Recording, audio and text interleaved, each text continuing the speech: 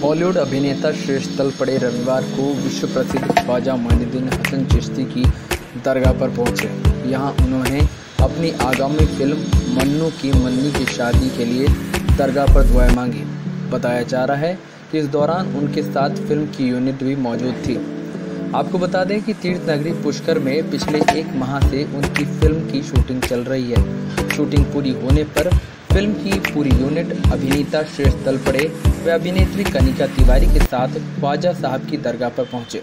यहाँ उन्होंने पवित्र मजार पर मखमली चादर और अकीदत के फूल पेश कर फ़िल्म की कामयाबी के लिए दुआएँ मांगी।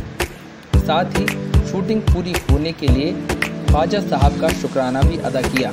यहाँ सैयद कमाल मोहम्मद, सैयद नज़र मोहम्मद, सैयद अजहर मोहम्मद ने फ़िल्म यूनिट को दरगाह जियारत करवा कर तकरूब भेंट किया।